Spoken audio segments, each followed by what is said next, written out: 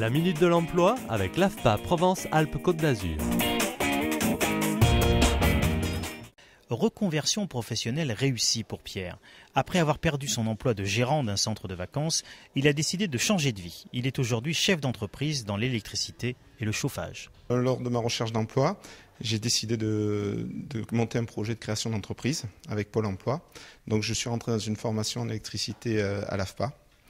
À la suite de quoi, j'ai travaillé pendant 4-5 ans euh, dans une entreprise de chauffage et maintenance électrique. Et depuis 2007, donc, euh, je me suis mis à mon compte, j'ai créé mon entreprise et j'en suis ravi. Et aujourd'hui, c'est vous qui embauchez?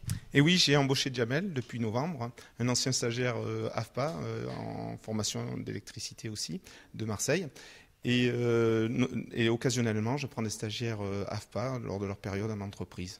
L'AFPA adapte ses formations aux besoins du monde professionnel. Exemple, elle propose plusieurs formations différentes dans le secteur de l'électricité. Le technicien d'équipement d'électricité est une personne qui, sur un chantier électrique, va avoir des responsabilités organisationnelles, d'encadrement, techniques aussi.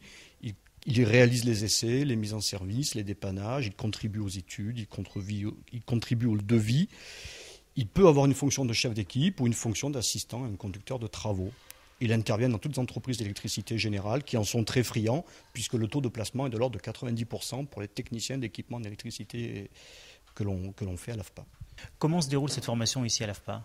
Ben, Le technicien d'équipement d'électricité, c'est une formation qui dure environ un an.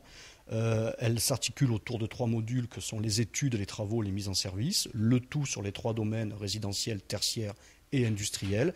Et on accueille euh, des demandeurs d'emploi, en grande partie financés par le Conseil régional.